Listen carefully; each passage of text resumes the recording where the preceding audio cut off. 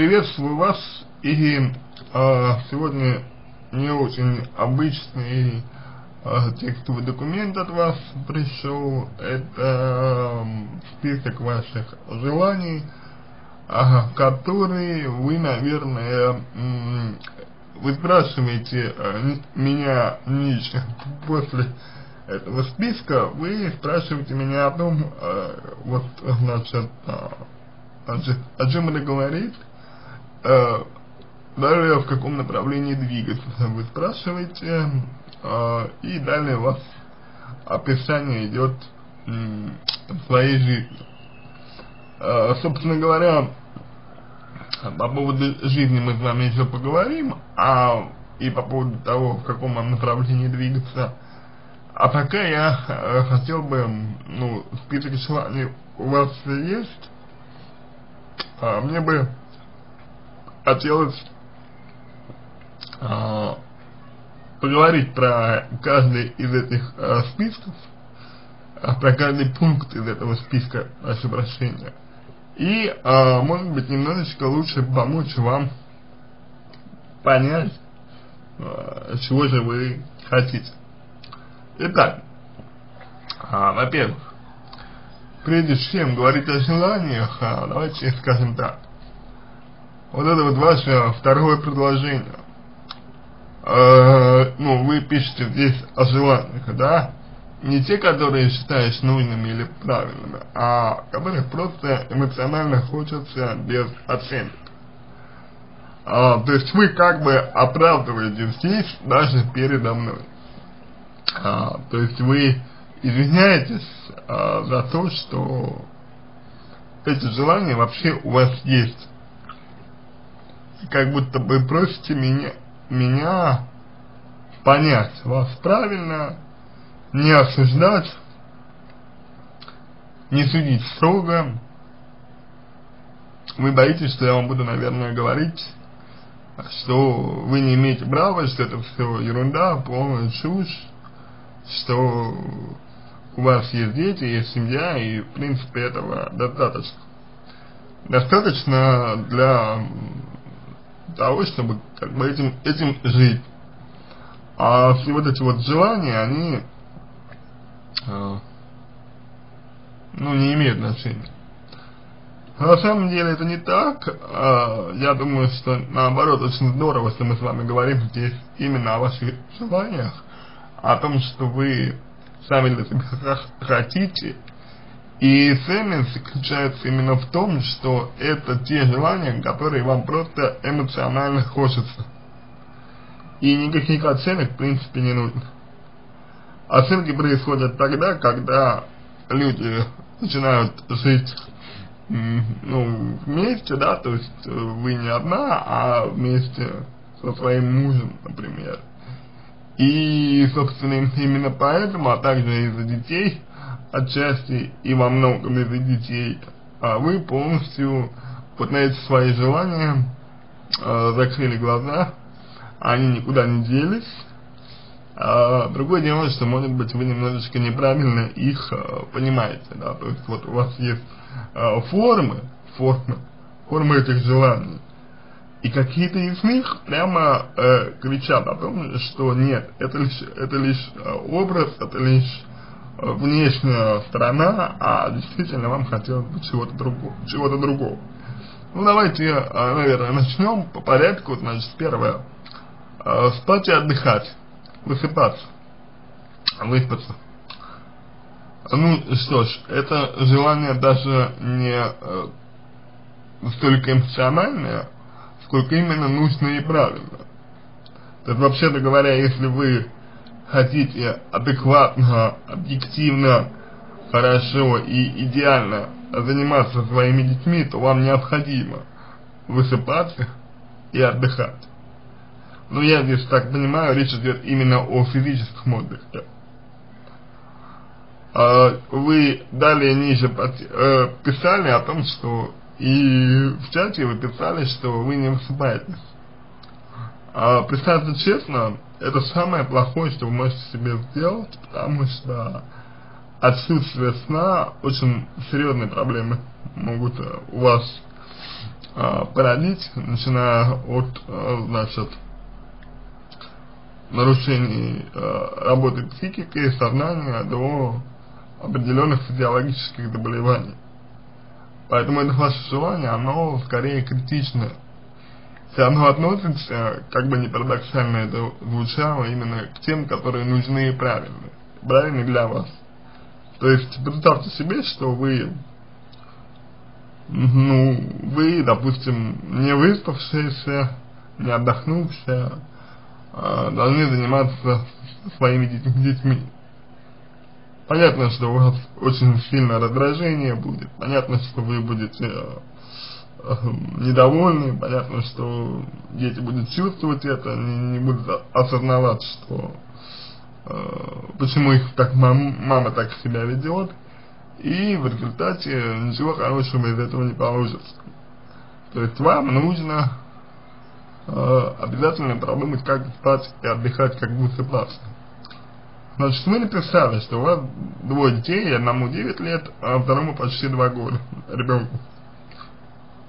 Тот, которому 9 лет, а, в принципе, уже достаточно взрослый, что сказать, а, через а, год он уже вполне может относиться к подростковому возрасту.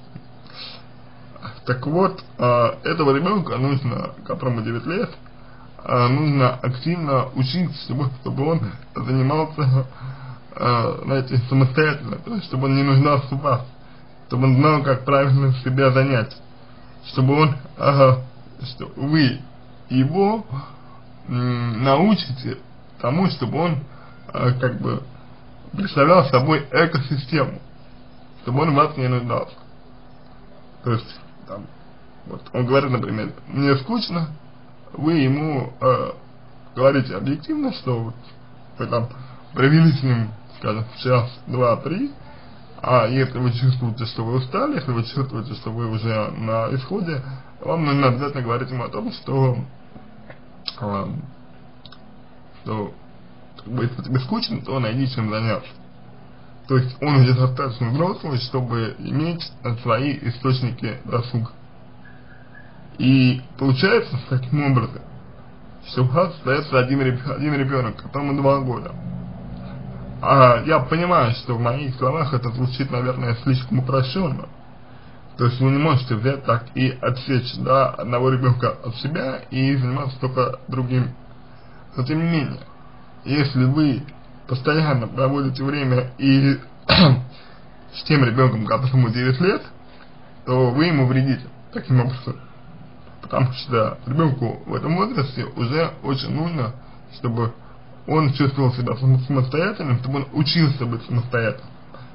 А если это мальчик, то, соответственно, больше времени проводит с, э, с, мужской, с, ну, с мужской половиной вашей семьи, а, может быть, гуляет с друзьями там, и так далее. То есть как-то что-то вот нужно э, сделать, чтобы он был самостоятельным. А, не помню, разбирали мы с вами вопрос детей или нет, воспитания детей или нет, вообще детская психология, не совсем то, чем я занимаюсь, но тем не менее. Это вот такая общая рекомендация вам будет. А, что касается второго ребенка, то здесь ситуация такова, что, понимаете, опять-таки, вы можете сказать мне, что а, вот мне легко говорить, но вам нужно высыпаться. Действительно, а, действительно, мне вам легко говорить, потому что то, что я говорю, это всего лишь слова. Но а, я отдаю себе отчет в том, что если бы вы могли спать, вы бы спали. Для, этого, для того, чтобы спать, реально высыпаться и отдыхать, нужно что-то в своей жизни менять, кардинально менять. Вы говорили, что вы пробовали там детский сад, ага, пробовали няни, у вас это не пошло. Хорошо. Предположу, что у вас, у вас это не пошло.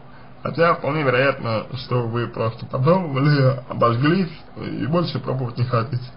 Что ж, это ваше право, а, как бы вам в нем никто не, не отказывает, а, вы вольны выбирать то, что хотите, и вы вольны а, действовать так, как вы хотите, но правда в том, что вы сейчас себе, себе вредите, а нанося вред себе, вы наносите вред своему ребенку и своим детям. Поэтому а, вы можете в течение недели, да, э, выбрать один или два дня, когда вы точно сможете поспать волю, столько, сколько вам хочется выспаться. Один день в неделю хотя бы, лучше, лучше два. Уверен, что в течение вот э, 7 дней э, можно сделать так, чтобы хотя бы два дня вы высыпались. Да, для этого придется что-то поменять, для этого, возможно, придется э, у кого-то что-то требовать, для этого придется, возможно, как-то как-то э, непривычное решение принять, да. Но, тем не менее, это нужно. Потому что если вы этого не сделаете, вы не будете высыпаться, ваше желание останется таким, каким, вот таким вот. То есть обычное нормальное желание выспаться у вас будет э, просто эмоционально. Это неправильно. Это не блажь выспаться. Выспаться это не блажь. Это необходимость. А, можно, в принципе, много приводить примеров а, того, насколько эффективно и необходимо выспаться, но я думаю, что вы сами прекрасно это понимаете, поэтому а, говорить вам подобное я не буду. Дальше. А, следующее желание – это переезд в другой город. Э, я думаю, что вот это желание, оно как, как раз таки то самое, когда ваша э, форма, то есть вот то, как вы видите это свое желание, э, желание переехать в другой город, в действительности скрывает под собой немножечко другие мотивы, и это те мотивы, которые э, влияют, как бы отвечают за ваш комфорт. То есть вы хотите переехать в другой город, потому что считаете, что в другом городе вам будет лучше. Вы хотите переехать в другой город, потому что вам кажется, что тот город, в котором вы живете, он на вас давит, что вы в нем как в тюрьме, что у вас ничего не получается, э, в нем и, собственно говоря, э, другой город для вас как бы э, новые возможности, новые перспективы, возможно, какие-то еще э, плюсы вы сами себе видите. Э, я думаю, что, знаете, вот э, вам для лучшего понимания ваших желаний нужно вот напротив каждого желания написать тире и написать плюсы. То есть, например, вы пишете, приехать, переехать в другой город, да, какие у этого желания плюсы. То есть, что вам лично это даст. То есть, как бы вы конкретизируете э, свои желания, уже в своем контексте. То есть, я понимаю, что вы этого хотите, но эта форма а вот чтобы понять истинное желание, нужно, нужно именно для себя определить, что она вам дает. Например, а, по моему мнению, а, переезд в другой город для вас, это вот именно то, что я сказал. То есть это бег от вот того места, где вы сейчас, и от непри, неприятных негативных ассоциаций, а, которые несет вам это место. Но вы можете мне сказать о том, что я не прав, и что ваши желания совсем иные, что вы хотите совсем другого. И это может быть. Но тогда допишите каждому желанию, как я уже сказал, плюсы. Что, они вам, что вам даст переезд в другой город. И вот эта конкретизация поможет вам сделать желание более, более реальным. Если вам нужно избавиться, допустим, от негативных ассоциаций, которые я э, сказал, то это можно сделать и находясь в вашем городе. Просто немножечко изменив свою деятельность. Если вы считаете, что на другом месте у вас будет больше возможностей, давайте подумаем, подумаем. А какие возможности вам нужны? Какие возможности вы хотите? и почему эти возможности нельзя ре реализовать в вашем городе, опять-таки.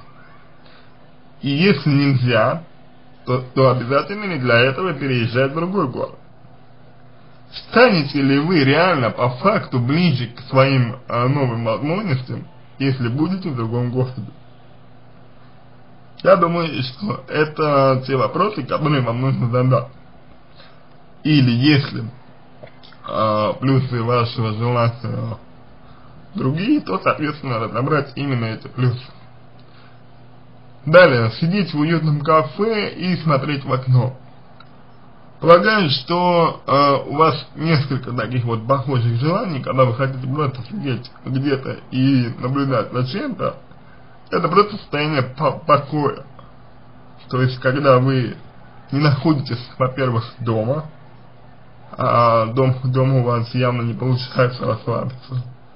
То есть, вам нужна какая-то отвлеченная обстановка, где бы вы чувствовали себя не дома, а значит свободной от обязанностей, от ответственности.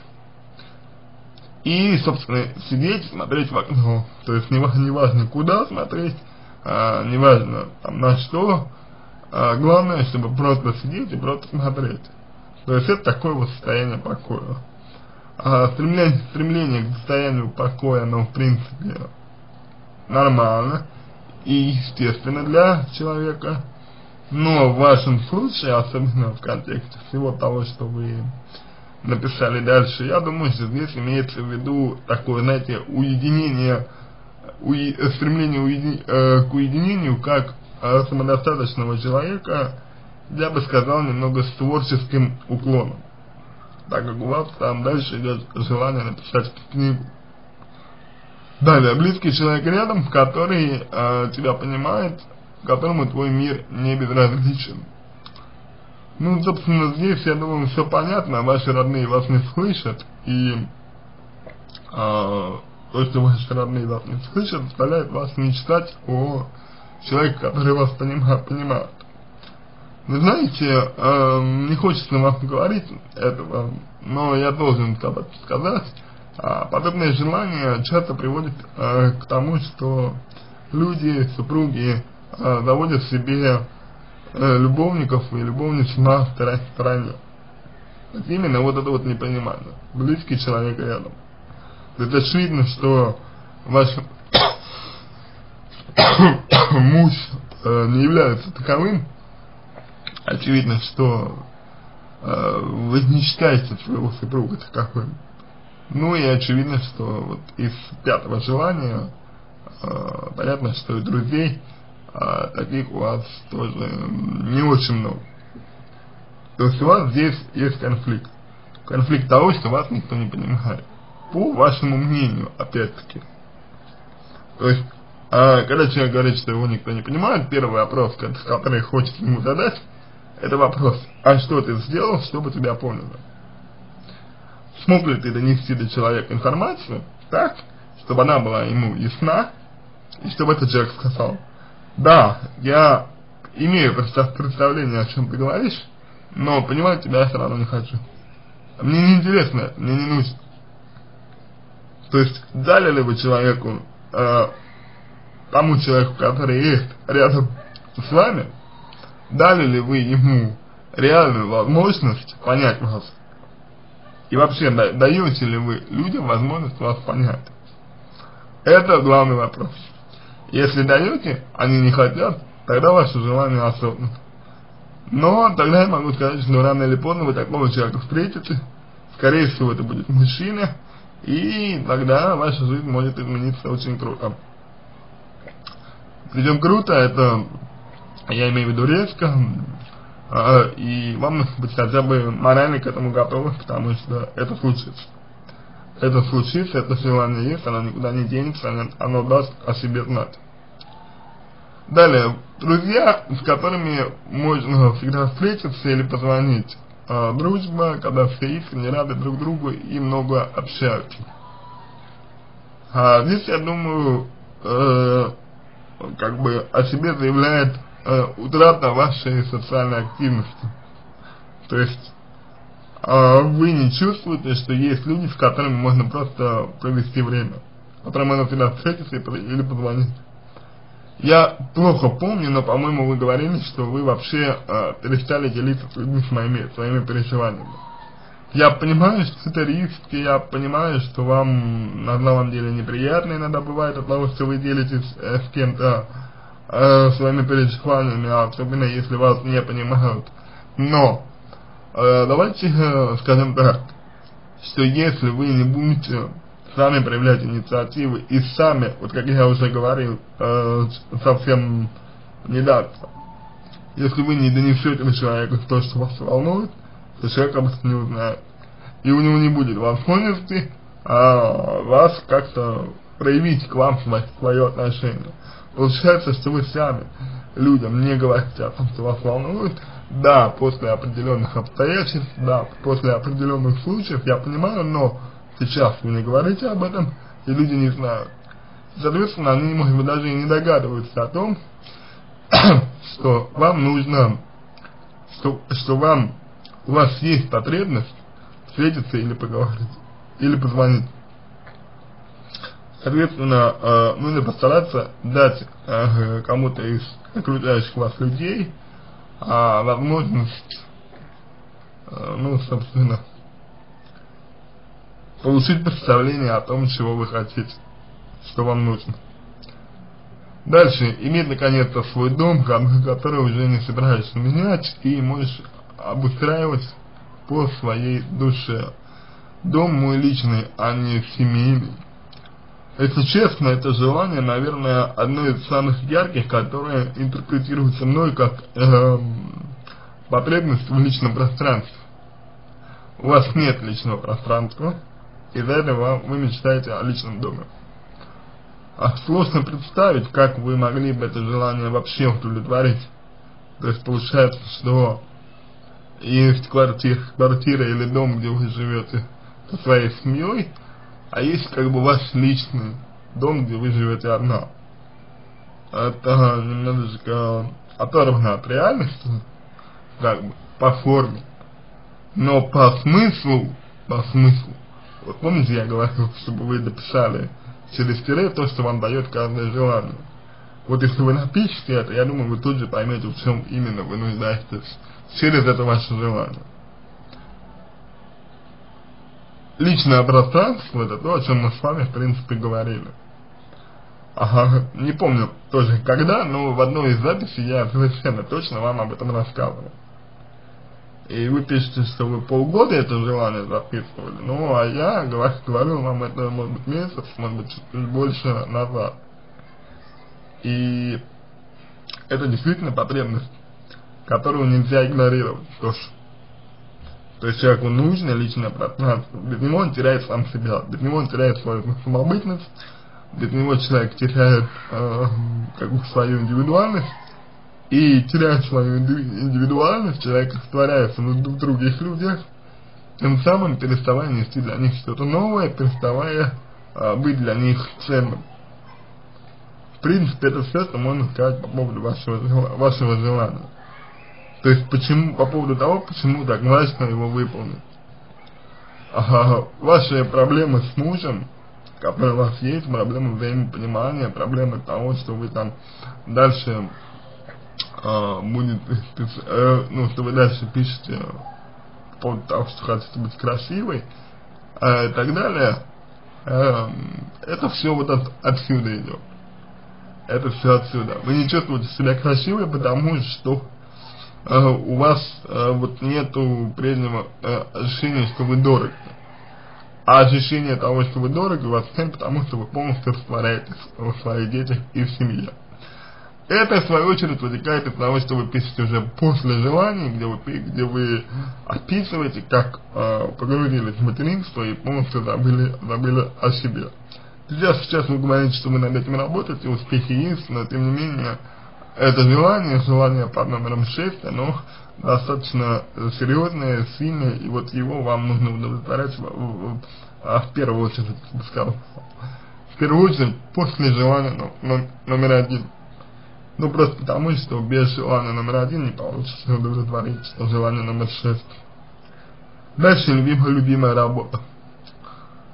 А, полагаю, что у любимой работы есть несколько ага, несколько таких вот мотивов, несколько смыслов. Ага. То есть эта форма раскрывается через, э, во-первых, более полную реализацию вас как делового партнера, во-вторых, вас можно как бы ощутить себя в роли не э, семейной. То есть вам интересно и важна и привлекательна именно вот эта роль, роль делового партнера. Но так, чтобы вам нравилось то, что вы делаете. Чтобы вам нравилась работа, которую, которую вы делаете. А, не помню, опять-таки, что вы говорили по поводу своей работы. Понимаю, что найти любимую работу э, в вашем положении достаточно сложно. А, но думаю, что для начала, вот опять-таки, а, нужно где написать через, через тире, что вам дает любимая работа, то она вам может дать. И во-вторых, а, как бы, какая именно работа, то есть вот, что, какой, а, как раскрывается для вас понятие любимая работа. То есть для кого-то любимая работа это именно дело всей жизни. Но понятно, что дело всей жизни можно искать, искать долго и не найти. Для кого-то любимая работа это та работа, которая значит, и удовольствие приносит определенное, да, и доход какой-то есть, и там сопутствующее общение имеется. И тут вот очень важно понять, любимая работа, что она для вас. Исходя из этого, вам уже будет проще. Далее, в прошлом родить детей, родить детей. В прошлом это не изменишь. А, полагаю, есть определенная психотравма по поводу того, что вы сами детей родить не можете. А, то есть комплекс а, неполноценности может быть, а, может быть а, какая-то нереализованность а, в этом плане. А, то есть здесь момент такой, что вам это желание не позволяет э, чувствовать себя прям вот полноценной женщиной. Может быть, отсюда э, проистекает ваше желание быть красивой и воздушной, которое вы пишете там дальше. Э, понимаете, если это так, во-первых, нужны э, все подробности, то есть понятно, что по одному восьмому желанию, вот по одной строчке, э, весь этот конфликт не решишь. Но то, что мне хочется вам сказать уже сейчас, это то, что, понимаете, у многих людей, не только у вас, э, которая не может родить детей, также не получается э, родить. Или они не хотят рожать. Просто потому, что, ну, разные бывают обстоятельства. У кого-то мужчина не, мой, не, мой, бесплоден, да, у кого-то там самого желания нет, боится, там организм не позволяет что-то еще, то есть по-разному бывают ситуации. И важно не возможность родить, а важно, важно реализовать себя как мать. И по сути не важно происхождение ребенка. Это привязка к стереотипу, это привязка к обществу. То есть вот как повелось, да, изначально, что женщина рожает сама ребенка, так вот это ее ребенок, и все. Только тогда она полноценна. Это стереотип. Устоявшаяся норм, такой архаизм, если хотите. Да, это может быть самая естественная а, форма как бы рождения детей, да, но это не всегда приемлемо. И нужно считаться с изменениями, э, которые происходят в нашей жизни нельзя э, думать, что актуально будет только то, что вот э, было актуальным очень большое количество времени. Рано или поздно все равно появляются новые формы, все равно появляется э, э, что-то вот другое, другие способы. Если раньше, например, э, женщины, которые не могли родить, так и оставались бездетными, и как бы у них никогда не было детей, то сейчас такая возможность все равно есть э, и как бы общество стало относиться к таким женщинам куда более лучше, терпимее вообще э, никак не дифференцирует женщин, да, на тех, кто может там родиться самостоятельно, на тех, кто не может и так далее. То есть это все при пересидке э, прошлого. Скорее всего, установки ваших родителей. Э, установки того общества, в котором вы живете. Может быть, это э, намеки вашего мужчины, но это все идет от ограниченности, то есть независимо от того, независимо от того, кто вам это говорил, кто вам это внушил, э, как вы сами к этому пришли, это все является только лишь э, узостью мышления, не более того. И вам нужно понять вот это, осознать, что это, знаете, желание родить самой, это лишь по сути форма. Но эта форма, это как бы процесс. Вы желаете процесса, а не результат. А в данном случае важен именно результат. То есть а, появление вас ребенка, становление вас матерью. Это очень важно. И не важно, а, каким а, путем вы к этому пришли. Важно, что вы мать. И что у вас два прекрасных ребенка. Это в том, что касается восьмого желания. Значит, далее, любоваться природой, гулять, созерцать, рисовать. А для вас это желание является олицетворением свободы. То есть любоваться природой, гулять, созерцать это такая беззаботность, беспечность, и как следствие беспечности и беззаботности и наличия свободы, а, возможность творить, творить. За этим, я думаю, скрывается сама потребность а, в творчестве. Я об этом уже говорил, а, значит, что у вас есть творческие вот, желания. Так вот, так вот, а, вас это свобода. И опять же, по аналогии с самым первым желанием, можно при достаточном рвении организовать так, чтобы хотя бы раз в неделю, раз в неделю, вы могли вот, вот так вот э, себя ощущать. Это очень важно. Важно чувствовать себя свободным. Потому что, ей-богу, э, с детьми вы, э, вот у меня складывается такое впечатление, что дети для вас это тюрьма, это каторга.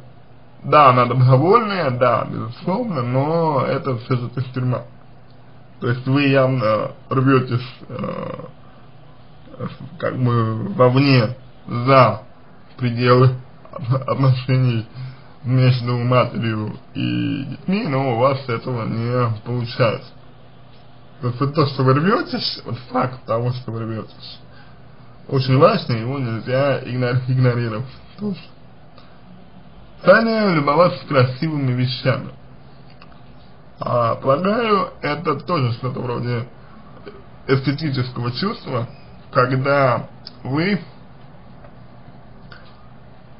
у вас есть потребность, потребность в эстетике, удовлетворение культурных потребностей и эстетических потребностей.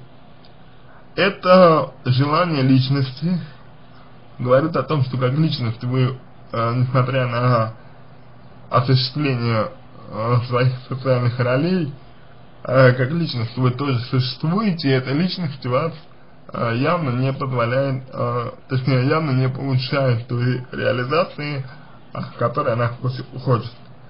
То есть вот это вот десятое желание, это прямо вот культурно, как бы культурно ориентированное желание на что способна только личность, в принципе. Ну или творческий, творческий человек, опять-таки. Далее, делать обстановку вокруг себя красивой. А, полагаю, здесь вы имеете в виду такую очень тонкую, на мой взгляд, э, вещь. То есть вот а, по первому э, как бы впечатлению, да, ну понятно. Просто там, где вы, там все красиво. Но я думаю, что немножечко глубже лежит э, суть этого желания. И заключается она, она эта суть в том, что вы хотели бы, чтобы у вас было больше значимости. Чтобы, чтобы а, вы, вот то, как вы видите ситуацию, то, как вы видите там проблемы, обстоятельства, и прочее, чтобы вы могли их решать так, как вы считаете нужным. И чтобы все было так, как, вы, как вам хочется. Связано ли это с тем, что вы не чувствуете себя значимым, а наоборот чувствуете себя бессильным, то есть ни на что не влияешь. Да, о детях вы заботитесь, да, бытовые вопросы вы решаете, но не более того. Больше вас ничего нет, кроме этих моментов. Дальше. Э, быть красивой и умиротворенной. Э, слово умиротворенный дальше разбирать не буду, оно слишком сложно, каждый человек понимает его по-своему. Умиротворенность это гармония, баланс, это э, окружение себя э, теми элементами интерьера, теми людьми, всем вот таким, что вам нравится. То есть, пожалуй, к этому нужно стремиться. То есть стремиться к тому, чтобы вокруг, вокруг вас были только те люди, которые вас устраивают, те вещи, которые вам нравятся и так далее.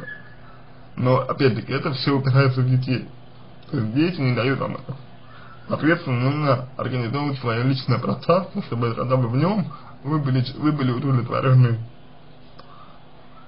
Что касается быть красивой, то опять же, э, примерно вспоминаю, о чем вы говорили в предыдущих письмах, но мы здесь только работа, работа над собой.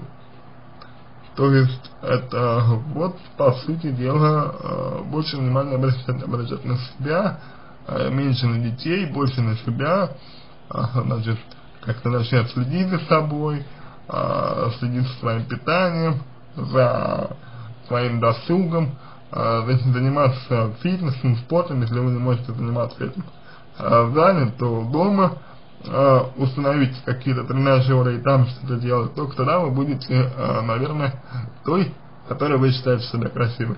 С другой стороны, насколько я помню, раньше вы, ну вот в своем письме, что э, в начале отношений с, му с мужчиной вы чувствовали себя воздушной и легкой и красивой. Теперь, конечно, вы это не так, вы себя такого не чувствуете. Правда в том, что ага, не нужно пытаться вернуть себя, ту, которая была. На самом деле, ее не вернуть, потому что это вы. И ее не вернуть, потому что все-таки прошло время, вы стали другим человеком. Э, нужно сделать что? Нужно вот посмотреть на себя, на то, какая вы есть сейчас. И подумать, какой вы хотите себя видеть. Не в прошлом, не той, которая, какая вы были в прошлом. Нет. А какой вы сейчас можете быть. Что вы можете из себя сделать. Задайте себе этот вопрос, и я уверен, что быть красивым станет для вас э, куда более реалистичным желанием, чем сейчас. Далее, э, ездить в путешествие, где ты наблюдаешь, созерцаешь, созерцаешь и размышляешь. А, ну, в принципе, это то же самое, что любоваться природой, гулять и созерцать. Вы даже э, слово повторили, созерцать, у вас одно и то же слово. Полагаю, это схожее желание, просто немножечко э, изменена форма здесь разве только путешествие для вас, и, э, это может быть не форма, а действительно желание посмотреть мир. В таком случае именно путешествие нужно пока отложить, потому что вряд ли вы сможете путешествовать э, с э, двух, двухгодовалым ребенком. Но обязательно рассмотреть этот вариант, этот вариант, вариант поездки с ним и выбраться хотя бы, ну, в ближайшее зарубежье, то есть ближнее зарубежье. Или, может быть, хотя бы доехать, например, в Крым, или там, в Турцию, куда-то еще, то есть, ну, в зависимости от того, вот, куда бы вам хотелось. Если вы говорите, что вы хотите ездить одна, где, где ты наблюдаешь, созерцаешь и размышляешь, понятно, это без детей.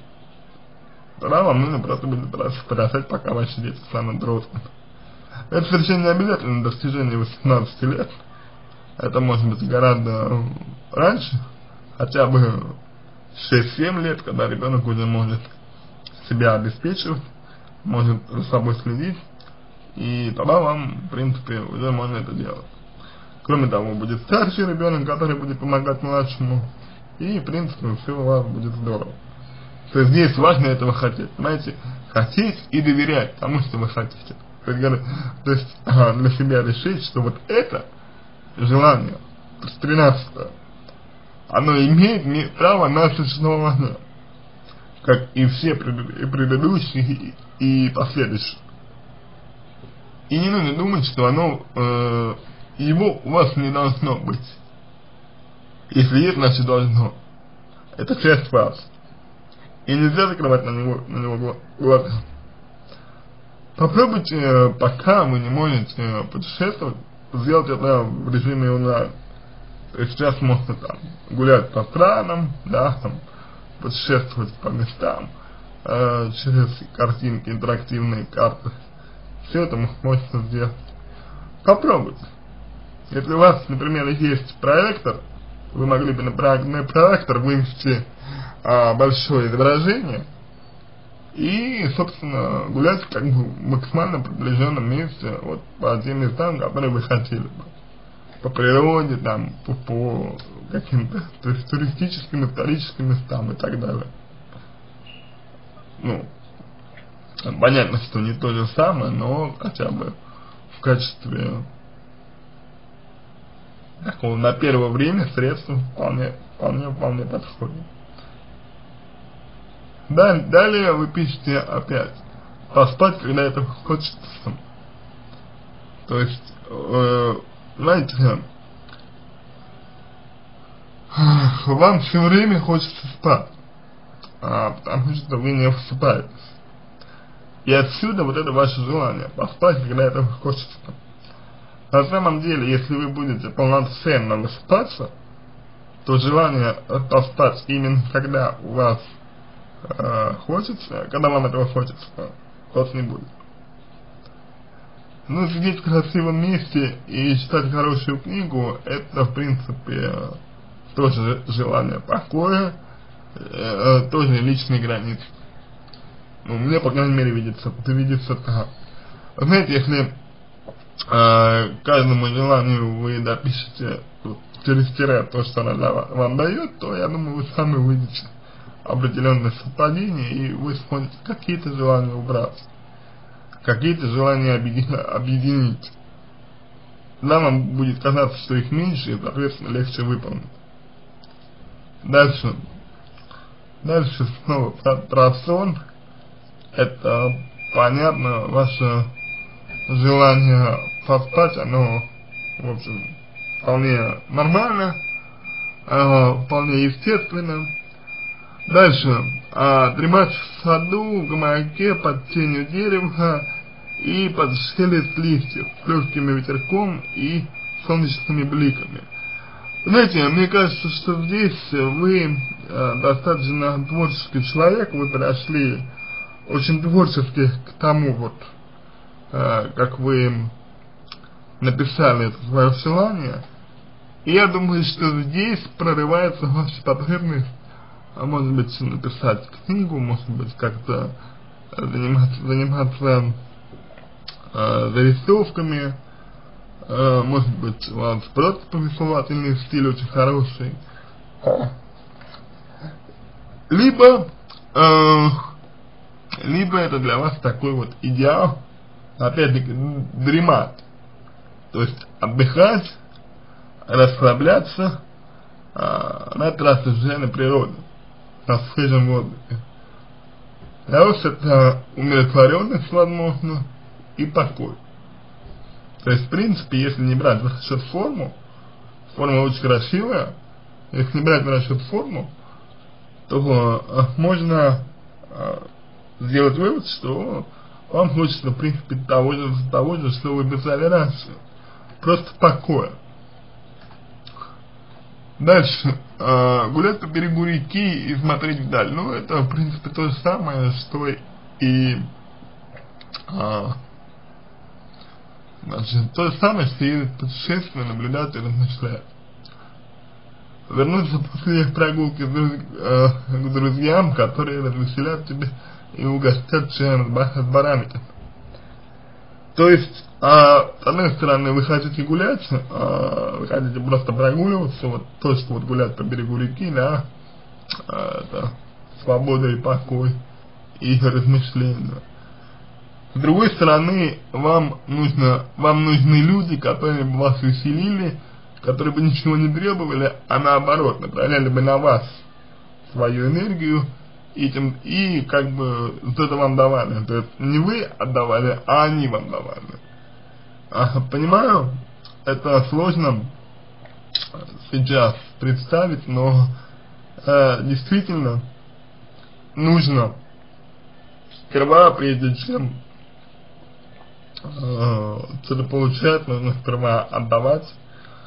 К сожалению, без этого нельзя, и поэтому я делаю вывод, что вам сперва нужно побыть одной, э, в личном пространстве, как вот мы с вами говорили, а потом, когда вы будете готовы что-то людям дать, э, вы это сделаете, и они будут вам также отвечать взаимностью. Пока вы им дать что-то не готовы, нельзя рассчитывать, что они вам что-то дадут если это не те люди, которые вас уже есть, которые вас знают, которые, которые готовы вас поддержать.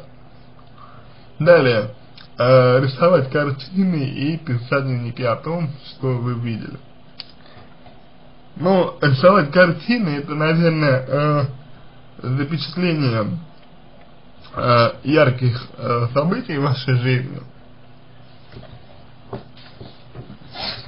А то, что касается э, дневников, то это, опять-таки, полноценное проживание того, что с вами есть, того, что с вами происходит. То есть, а вы писали в своем тексте дальше, что вы хотите прожить полноценно.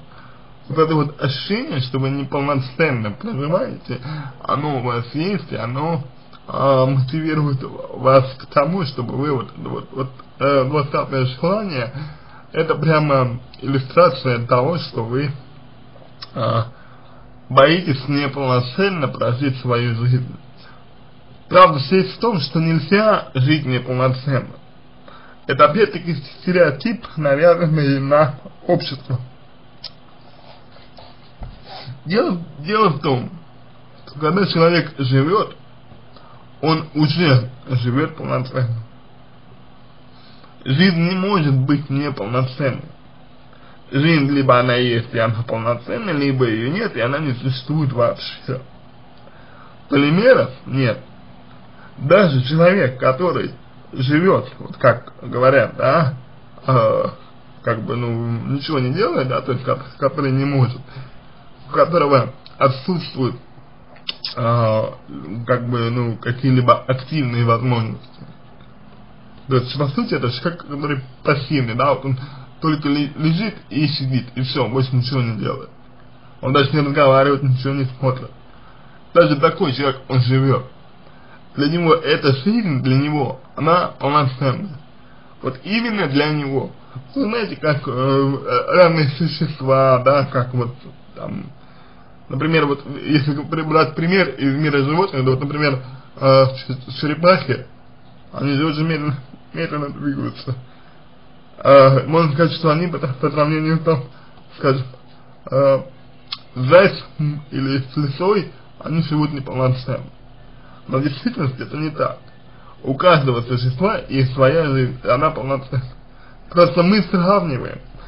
А сравнивая, мы опираемся всегда на какие-то характеристики. Не, не понимая при этом, что эта характеристика весьма и весьма условно. Они выдернуты из контекста, не более того. Поэтому а, про полноценную жизнь я надеюсь а, момент вам более прояснил, более, более или менее прояснил, теперь вы сможете немного лучше его понимать. То есть, если у вас возникает ощущение, что вы считаете неполноценно, моментально вспоминайте мой пример, вот то, что я сейчас сказал, и тогда, э, я думаю, надеюсь, что вам будет лучше. Дальше, вести долгие беседы об интересном, глубоком, значит, никак, никуда не торопиться, говорить столько, сколько хочет. Ну, а здесь 21 желание, оно, в принципе, очень понятно. Это, значит, во-первых, недостаток реализации. То есть вы очень, очень мало и плохо говорите о своих чувствах, о том, что интересно вам. Мы это обсуждали, что вам не с кем поговорить о том, что вам интересно, а ваше окружение этим не интересуется. И вот это у вас копится, копится, копится, и вы не можете поговорить, вы не можете выразить себя в чем-то отвлеченном. То есть понятно, что это не дети, это не воспитание детей, это не домашнее хозяйство, это, вот именно что-то отвлеченное. Здесь вам можно посоветовать только на э, первое время, здесь вам можно порекомендовать только общение на форумах и в социальных сетях, а, в тематических пабликах и как бы соответствующих группах. Там вы можете реализовать свое желание, но будет у вас более или менее реализовываться, но опять-таки до тех пор, пока вы э, не сможете делать это самостоятельно, самостоятельно вживую. Хотя вот это желание наиболее, пока что, наиболее отдаленное по времени, чем э, остальные. Почему? Потому что долгие беседы, никуда не торопиться, говорить столько, сколько хочется, потому что когда дети уже, ну, практически полностью сами себя обеспечивают.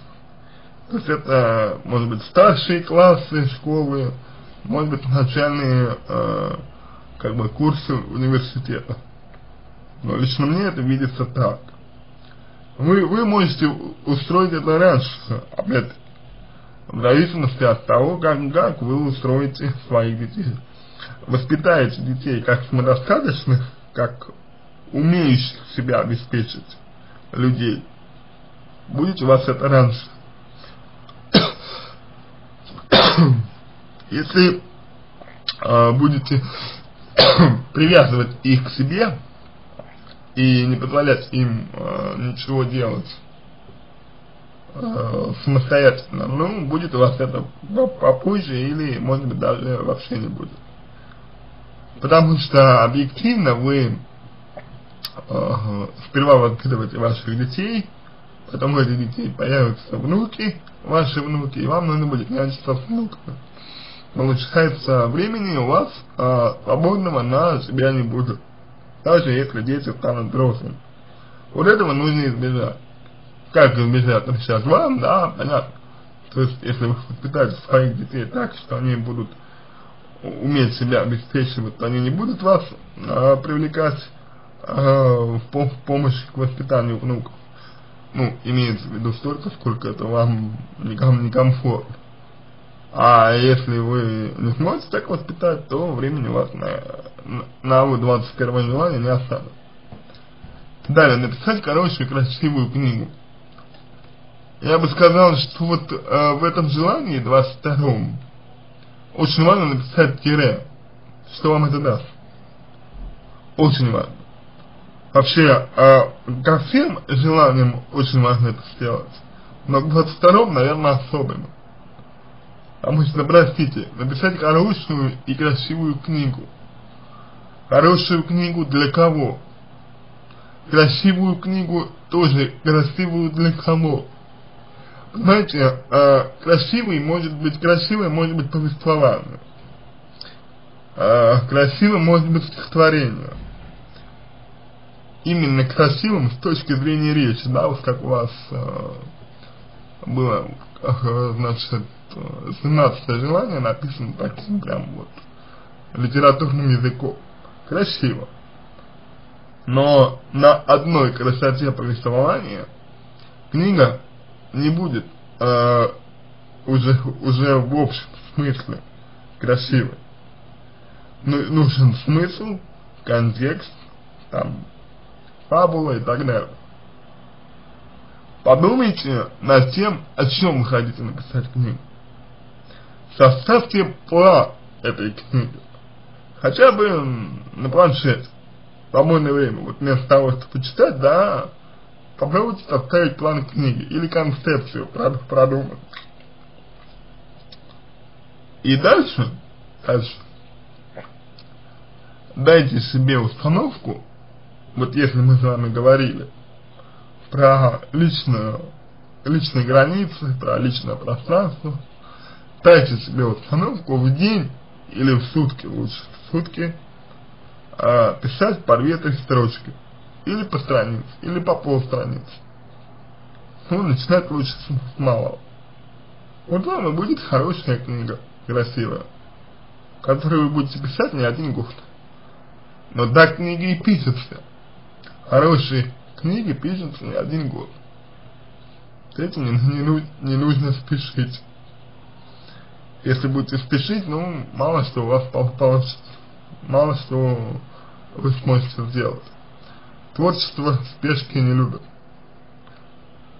Обязательно, для чего эта книга вам нужна, что она вам даст, обязательно это напишите, напишите себе хотя бы.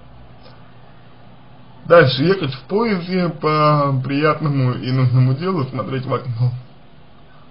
Ну, в принципе, тоже покой, путешествие, но без э, приятное и нужное дело. Вероятно, вы устали от того, что вам все время что-то навязывают, и что ваших личных э, дел, которые важны именно вам, у вас нет. Соответственно, речь идет об этом. О том, чтобы дела касались только вас, не, не семьи только вас. В таком случае, я думаю, нужно будет здесь а, действительно в свою жизнь привносить то, что касается только вас. И все. Не завязывать э, отношения с семьей э, полностью на себе. Оставлять часть себя на свои какие-то собственные дела. Вот уверен, у вашего мужа, уверен, такие дела есть. Почему таких дел нет у вас, могу понять, но это не, э, не оправдание, это не как бы довод, это еще одна ваша неудовлетворенность. Захотите, будет у вас, будут у вас ваши личные дела. Да, сперва небольшие. Да, сперва, может быть, не такие приятные и прям такие уж нужные. Но, но, постепенно, когда вы поймете, что вы можете совмещать, я думаю, э, появятся и более весомые дела. Дальше, знать, что у тебя ждут близкие, которые тебе искренне рады. Полагаю, это перенос э, семьи. То, есть, э, ваши близкие вас не ждут, искренне вам не рады. Э, насколько я помню, свекровь ваша постоянно звонит вам, постоянно э, разговаривает с мужем, насколько я помню, и это точно нельзя назвать искренностью э, в отношениях никак. Вы же хотите, чтобы, э, значит, близкие люди, это имеется в виду, наверное, не только родные, но и друзья, чтобы они вас э, действительно уважали, любили вас, э, любили вас такую, какая вы есть, не пытались вас поменять, не пытались вас изменить. Э, ну, в принципе, что вам можно сказать по поводу? Э, здесь нужно налаживать семейные отношения в первую очередь.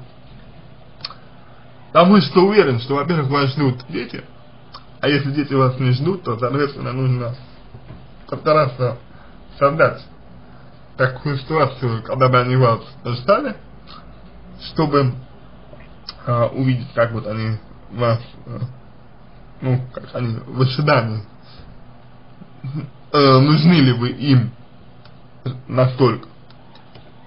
и вам самой будет э, лучше видно, вам самой будет э, более ясно, как вы воспринимаете их, своих детей. Ну, то есть, воспринимаете ли вы их хорошо, а, вот, скучаете ли вы по ним, скучаете ли вы по ним, да, или это просто привязанность. Привязанность – это потребность, это психоэмоциональная связь, которая детям вредит. А вот э, скука, э, такое вот, знаете, здоровое переживание своих детей, это вполне себе нормально. И вот нужно понять, во-первых, с детьми, что, ну, а во-вторых, во-вторых, оздоравливать семейные отношения. И не только семейные. Если э, с друзьями связь была потеряна, то постарайтесь ее как-то э, восстанавливать, чтобы люди действительно были э, вам рады. Но опять же, здесь нужно сказать так, что рады вам будут те люди и тогда, вы будете им что-то отдавать. Для того, чтобы отдавать, нужно быть к этому готовы, нужно, чтобы было что отдавать. А пока я не, не думаю, что у вас есть что отдавать. Я думаю, что есть у вас проблемы с этим как раз. Ну и как ее решать, мы об этом с вами уже говорили. Быть стройной и воздушной, как раньше, это желание я вам как бы разбирал уже, я сказал, что нужно делать здесь. А, напомню только, что не нужно стремиться к той, как, какой вы были раньше. Ну, это, знаете, это аналогия. Вот были вы девочкой, были вы девочкой и играли вы в куколки, там, например, да, играли в песочнице, там, бегали, э, играли в салочки и прочее. Ну, понятно, что вы такой уже не будете. То есть, да, вы можете что-то сделать, но вы не будете такой. Нельзя игнорировать а, и бежать от естественных изменений. Вы такая, какая вы, какая вы есть сейчас. Ну, нужно подумать, а как, как бы вы могли, какой бы вы могли быть сейчас. сейчас. Дальше. А, впихнуть в себя ворчливые мелочные мысли, недовольство. Мыслить так же светло и позитивно, как давно раньше. Ну, во-первых, ворчливые мелочные мысли, связанные с бытом. А, быт – это таки мелочи и ворчание. Либо вы немножечко отстраняетесь от этого и обращаете внимание только на то, что действительно важно, касаемо ваших детей, касаемо вашей жизни, касаемо вашего мужа, касаемо вашей свекрови, касаемо всего. Вы обращаете внимание только на то, что действительно важно. И этих вещей, которые действительно важны, ну, гораздо меньше, чем все вот это вот ворчание и мелочность. Это первое. Второе. То есть переоценка приоритетов, на что вы реагируете. А, оценка того, на что вы реагируете, и четкое разделение на то, на что вы не реагируете вообще, что вы даете решать другим людям, например, вашим детям, а что вы решаете сами. Ну, такая вот инвентаризация смогла бы вам помочь на самом деле э, сбросить с себя груз ненужных забот, лишних забот. Забот, которые могли на вас повесить просто в течение времени, родные. Осознанно, неосознанно, здесь не так важно. Не так это важно, главное, что они есть. Второе. А, давайте вспомним. А вот мыслить светло и позитивно как раньше. А когда вы перестали это делать? Когда вы перестали мыслить светло и позитивно? Что изменилось? Что заставило вас мыслить по-другому? Пока вы не осознаете, что заставило вас изменить свои мысли, вы не сможете начать мыслить по-другому. Потому что вы, видимо, неправильно поняли то, что с вами произошло. Вы неправильно это осознали. Отсюда изменение мысли. Если воспринимать то, что с вами происходит как опыт, как естественно, как то, чего вы хотите, ход мысли не изменился бы. А если изменился, значит что-то прошло не так, не по вашей воле, не так, как вы хотели. Нужно это осознать. И, возможно, подкорректировать, возможно, постараться подкорректировать. А если подкорректировать не можете, отпустите. Дайте этому существовать без вас. Но знайте, что если возможность появится, вы это подкорректируете. И все. Уверен, что вы тратите много своих именно психических, душевных сил на то, чего изменить вы не можете. Отсюда ваши изменения мысли. Дальше. Быть собой, а не исполнять роль. Пишете вы. И, и это желание вы выделили. Вы сказали, что у вас оно получилось. Вы сказали, что вы смогли его реализовать. И я считаю, что это очень здорово. Действительно, быть собой, а не играть роль, это очень важно для вас. Да и для любого человека, в принципе, тоже. Играть роль проще, быть собой тяжелее, то, что вы справились, вы молодец, это, это достойно, достойно всяческого уважения. Вы молодец. Не нужно э, принижать то, что вы добились, э, то, чего вы достигли. Это очень, очень, очень хороший результат. Пить вкусный горячий напиток.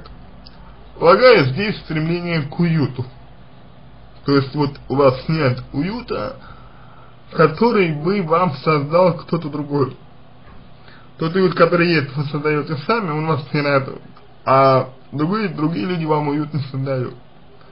Что ж, давайте подумаем, а почему вам не создают этот уют другие люди?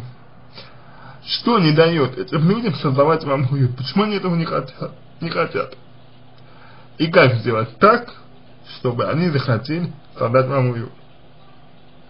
Ну и не забудьте к этому вопросу, как и как ко всем остальным, написать через тире, что это для вас значит.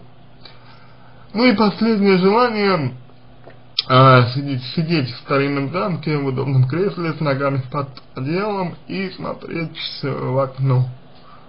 Ну, я не думаю, не думаю, что это...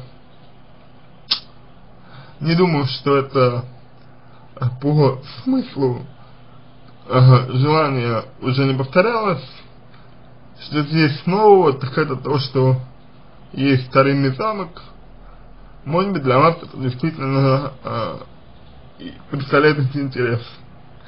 То есть старинный замок как источник, как эм, э, сим, символ э, наших культурных потребностей, вполне может быть. Я не буду говорить, что старинный замок это просто вот такая пустая, пустая форма, форма через которую вы выражаете свою потребность в уюте и покое. И свободу. Нет. Может быть, вас интересует старинный замок. А может быть, старинный замок для вас это такое место, где вы знаете, что вас никто не найдет. И там вы можете побыть наедине с собой столько, сколько вам хочется. Если так, то опять-таки э, речь о личных границах, о личном пространстве то, того, э, то есть о том самом, э, что, в чем вы нуждаетесь э, сильнее всего после сна. Ну вот, в принципе, и все.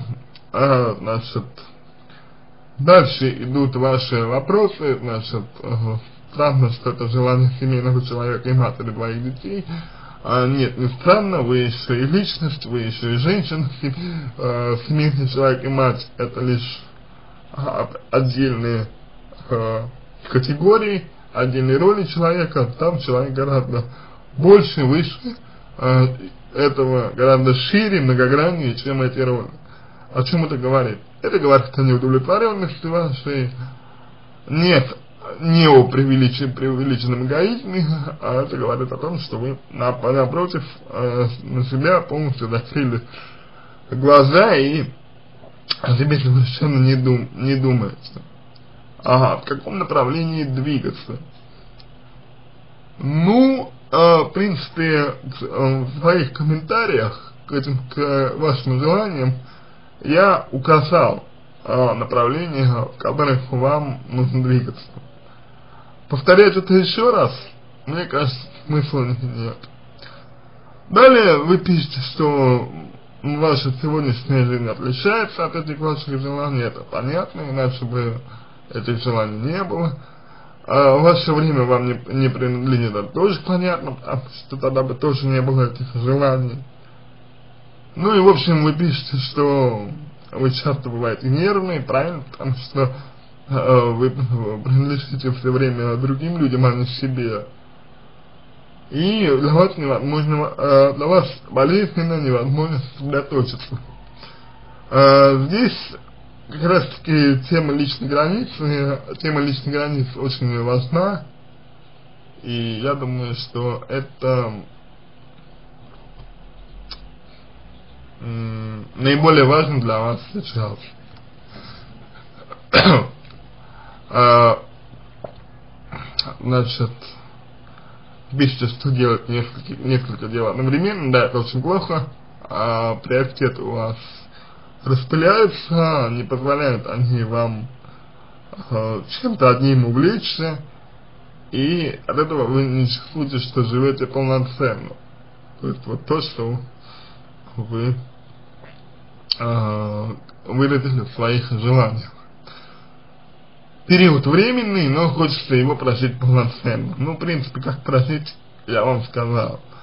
Э, много практических минусов в том, чтобы отдать детский сад, а, вы знаете, очень много людей, э, родителей отдают своих детей в детский сад, это очень важно для социализации а ребенка для того, чтобы уже в этом возрасте ребенок учился быть в обществе, учился строить отношения, и мне кажется, что все практические минусы ничто по сравнению с этим плюсом практически.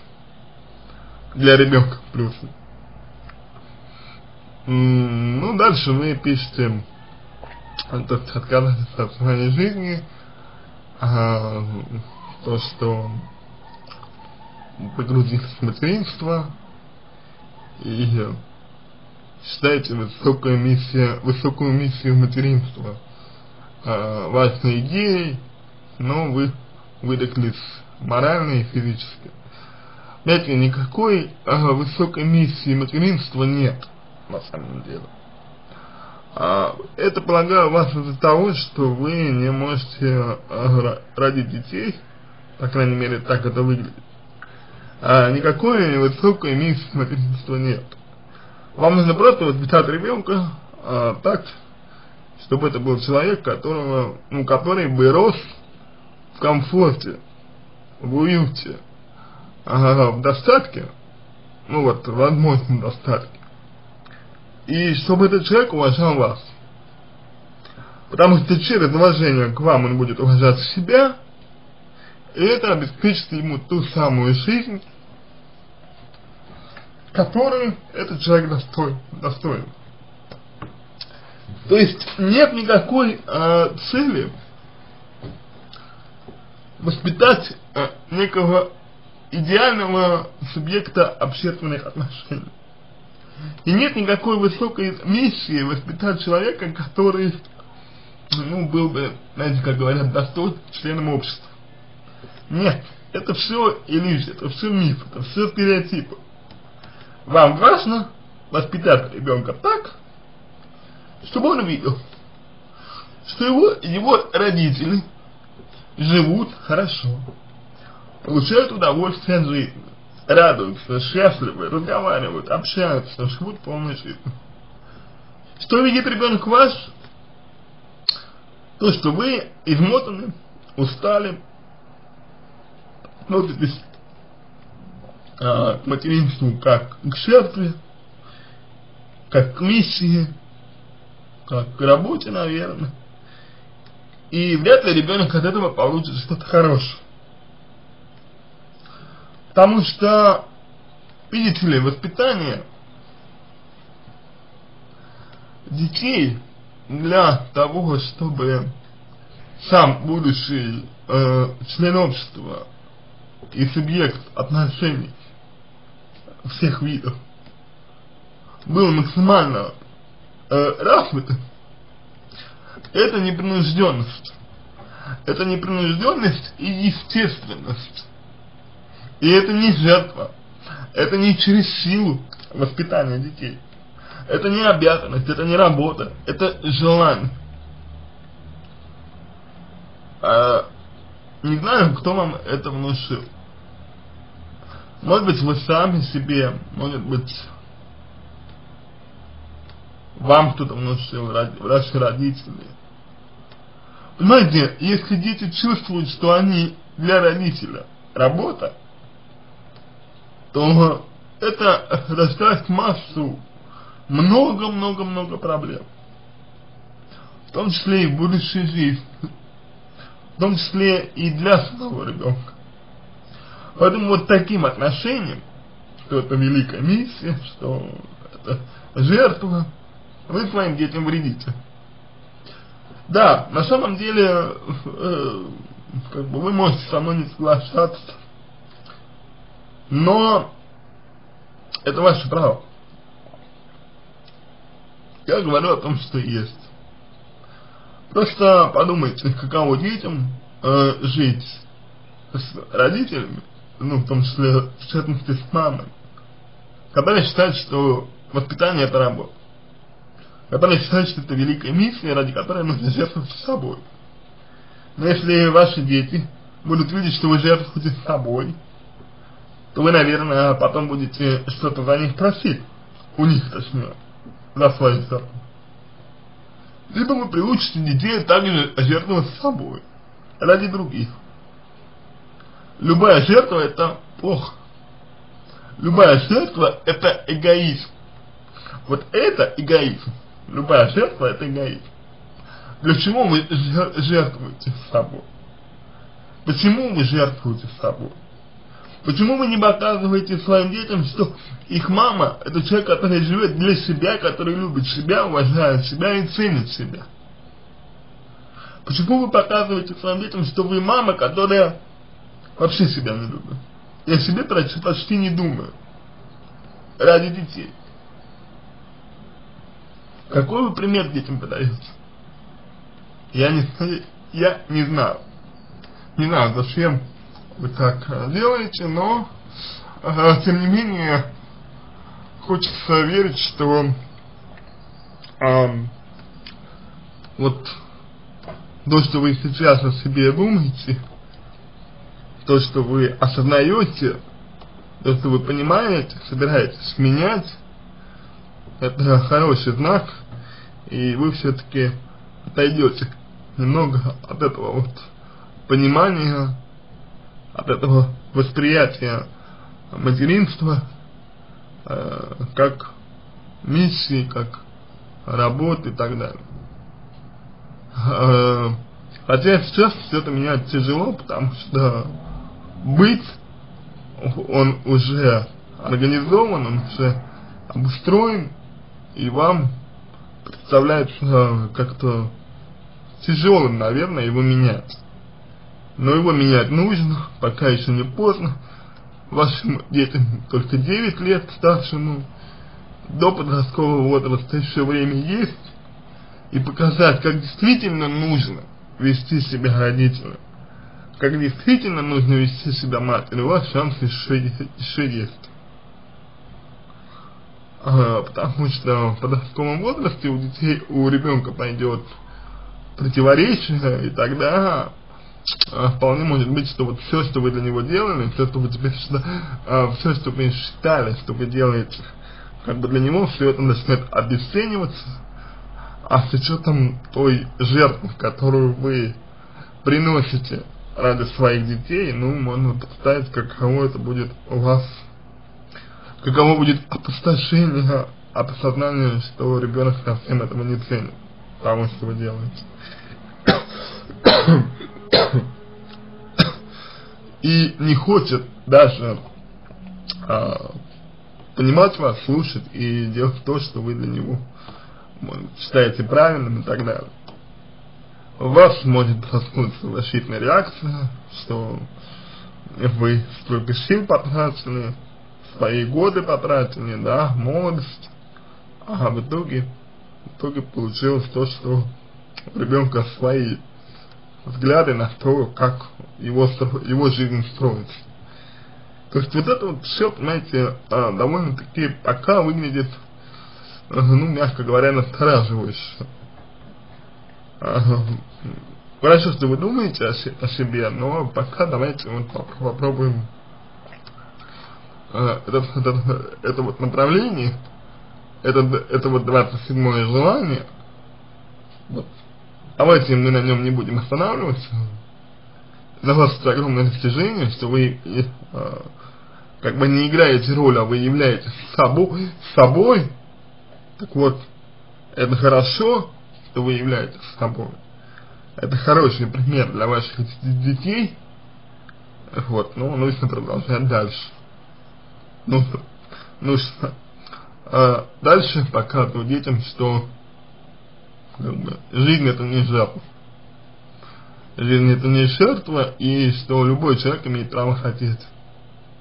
Иначе они будут это продвигать, продвигать либо в форме реакции, то есть в форме противодействия. Моя мама приносит себя в жертву, я категорически этого делать не буду. Ага, либо э, ваши дети будут такими же, как вы, и их ждет та же жизнь, что и, и вас не уверен, что вы счастливы сейчас, поэтому не думаю, что и вы хотели бы такой жизни для своих детей. Но пока нет оснований полагать, что вы даете детям какую-то другую модель поведения, вот кроме обозначенных мной. Ну и последнее, что вы пишете, значит, э, список вещей, которых вы, которые вы считаете нужным, совсем другой, гораздо более деятельный, это больше от эмоций. Этот больше от эмоций. Какие вы выводы можете из него сделать? Какие занятия лучше выбирать? Ну, в принципе, я сказал. А в вашем деятельном списке много других вещей, много планов и проектов. Только пока мало получается, а, потому что постоянно отвлекает, невозможно планировать время. Вы знаете, вот э, в деятельном списке, который у вас есть, деятельный список э, многих э, других вещей. Это как желание. Вот желаний много. Вы знаете точно где-то вот в подсознании, вы знаете, что вот вы написали около 30 желаний.